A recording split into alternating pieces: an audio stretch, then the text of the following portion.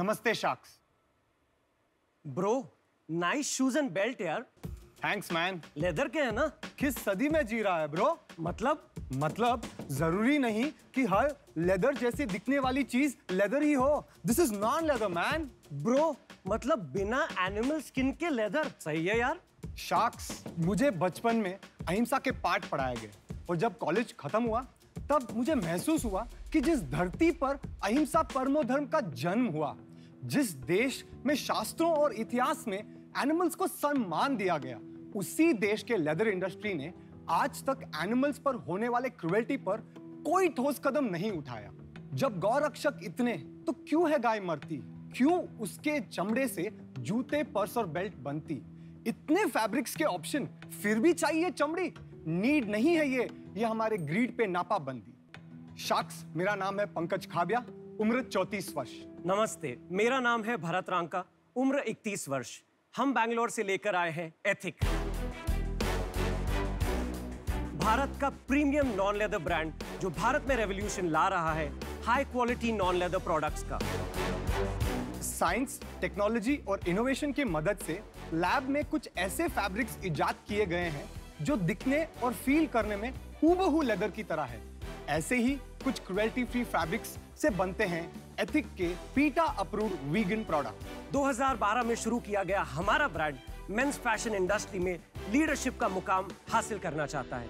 इस राह पर हम ऑलरेडी कदम रख चुके हैं। शार्क्स हम रेस करना चाहते हैं 15 लाख रुपए हमारी कंपनी में 5 परसेंट स्टेक के लिए। ये प्लांट बेस्ड मटेरियल से बने प्रोडक्ट्स तो काफ़ी अच्छे हैं आपके।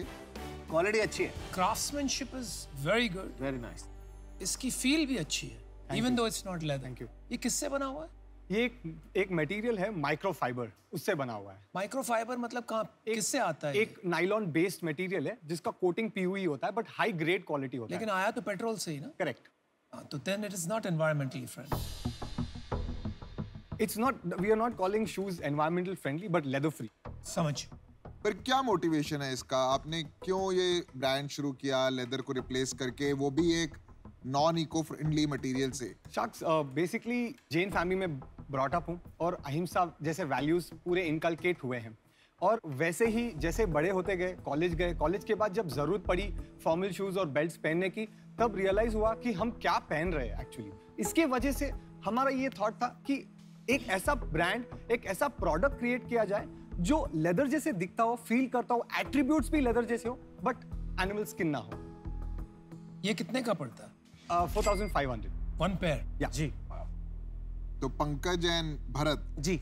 Welcome to Shark Tank ji. Thank you तो आपके रियली में ब्रो हैं या?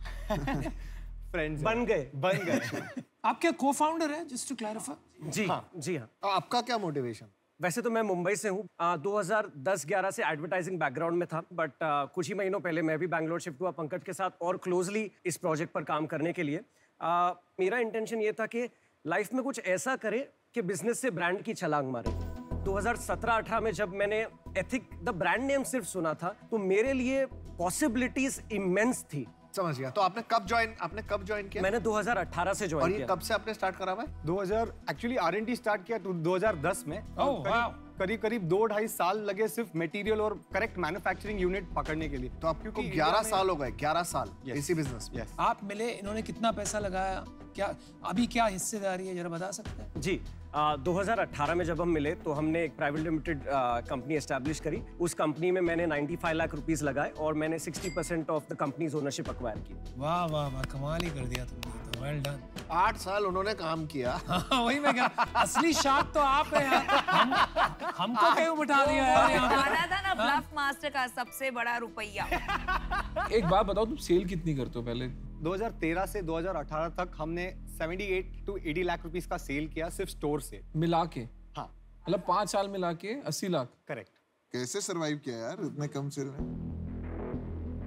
एक्चुअली हम लोग बहुत अर्ली थे मार्केट के लिए। आपको भी पता होगा So 2012 13 14 चौदह 15 वीगन मा नाम के या नॉन लेदर का कुछ right. ये उसके नहीं उसके बाद क्या हुआ? सेल्स को क्या हुआ? सो uh, so 2018 में जब से मैं जुड़ा इनके साथ तो हमने एक सबैटिकल लिया था।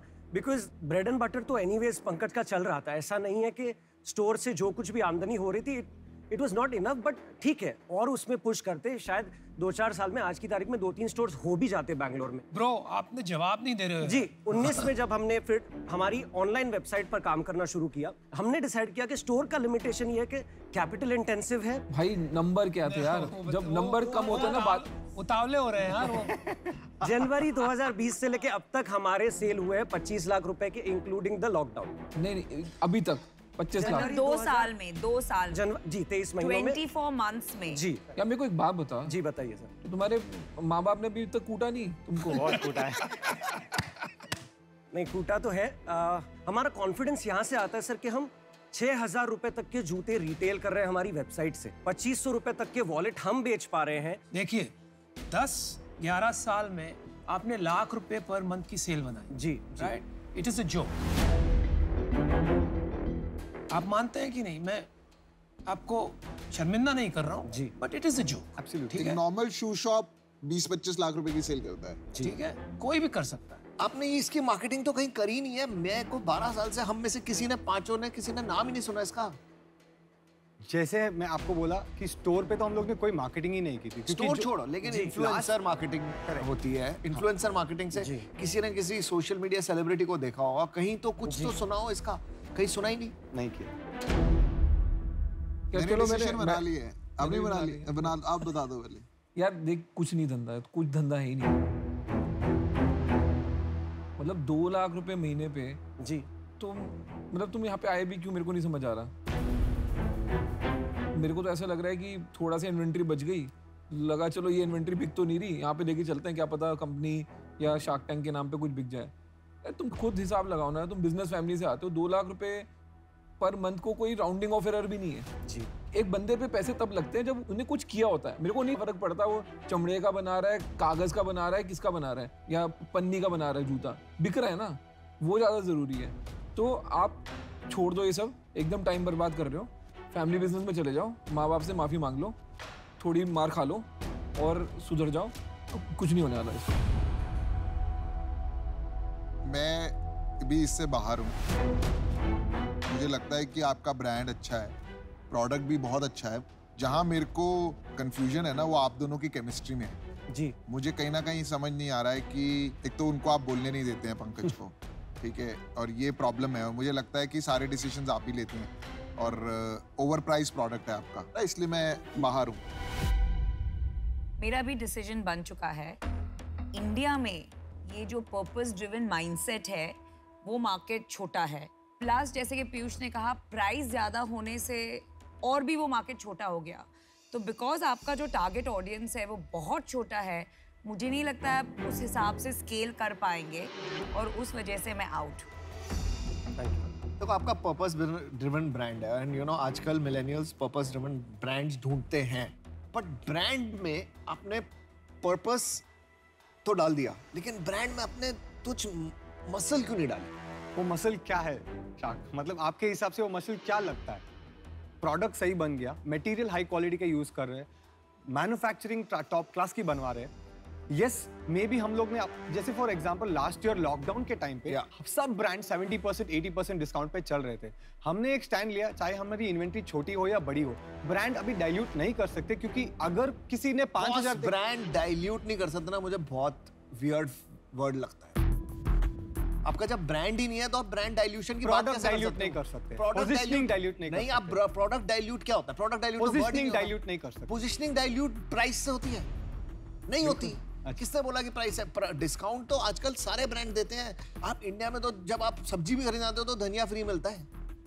आपको डिस्काउंट तो हर जगह चाहिए boss negotiation discount this is हमारे खून में है। आ, आप कहीं बात पर रिजिट तो नहीं हो जाते? ऐसा तो नहीं लग रहा कि मेरे को पर्पस ड्रिवन ब्रांड बनाना है मेरा ये पर्पस रहेगा। मैं प्राइस नहीं दूँगा मेरा ये यहाँ भी रिजिडिटी है। विजन ब्रेक हो जाता है शाक विजन और रिजिडिटी में फ़र्क है मैं तो सिंपल बताता हूँ आपको। अगर मैं चाहता हूँ तो ये ब्रांड को सस्ते में बना के आराम से हज़ार रुपये महीने के भी बेच सकता हूँ। ग्रॉस तो मार्जिन भी कम हो सकता है सब तो कर बेचो। सकता है। पर्पस नहीं फॉर सॉल्व बढ़ा दो प्राइस बाद में। आप एक कमरे में बंद हो Okay. आप 10 साल में आप दो लाख महीने का बिज़नेस बनाया है लास्ट तीन साल में भी आप दो लाख पे ही पहुँचे हो आप घर के बाहर निकल के देखो कि दुनिया क्या हो रही है आपको थोड़ी तो चिंता होनी चाहिए आपने कहा टच पॉइंट है एक स्टोर भी खोल देंगे आप बैंगलोर इंदिरा नगर रोड पे वो भी बारह लाख रुपए की सेल कर लेगा तो आपका मैं ट्रायल मैं ना आपके में बहुत इंटरेस्टेड था बहुत इंटरेस्ट था क्योंकि मुझे ना ये पता है कि मार्केट ग्रो कर रही है purpose driven brands are important है मुझे आपके ना रिजिडिटी में प्रॉब्लम है और मुझे लगता है कि मेरी भी नहीं सुनोगे और मुझे लगता है जब मेरी कोई वैल्यू नहीं होगी तो मैं आके कोई फ़ायदा नहीं आपके पास कुछ ऐड नहीं कर पाऊँगा तो कोई फ़ायदा नहीं है। थोड़ा इसीलिए for that reason I am also देखो क्या होता है ना एंटरप्रेन्योर में एक जोश होता है जुनून होता है जुगाड़ होता है ठीक है? आप में पैशन तो है ये कैटेगरी को लेके मटेरियल्स को लेके लेकिन वो जुगाड़ नहीं दिख रहा है अभी तक। और वो मैं नहीं डाल सकता हूँ। आप समझ रहे हो? आप अभी तक वो समझ नहीं पाए हो कि इसको कैसे एक तरह से बढ़ाया जाए। तो उस वजह से मैं आज आउट हूँ। और कोई फीडबैक शाक अभी तो वक्त खत्म हो गया है। बाहर मिलेंगे तो और feedback thank you so much और अश्लील से चाहिए तो अभी और फीडबैक मिलेगा देगा कोई सब सभी के लिए। हम ग्रो करना चाहते हैं। हम आप हसल करिए ना हसल करिए आप। जैसे दो लाख की सेल में आपको नींद कैसे आ रही है मुझे नींद नहीं आनी चाहिए आपको। करेक्ट तो फिर नहीं आती तो फिर कुछ करिए उस बारे में। Very best thank you so much thank you thank you thank you thank you best of bye जुनून जज्बा और जुगाड़ ये तीनों चाहिए काम करने के लिए। सिर्फ़ जुनून या सिर्फ़ जज्बा से काम नहीं चलेगा। जुगाड़ भी चाहिए वो हसल भी चाहिए जैसे पीयूष शाक ने बोला था।